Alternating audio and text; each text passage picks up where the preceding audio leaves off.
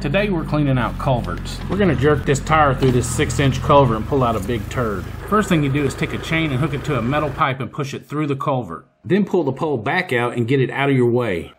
If you need to, put a little bit of oil on the tire. Hook the tire to the chain, then hook it to the tractor, and start pulling. Sometimes it can be a challenge to get the tire started, but once it's in, it pulls pretty good.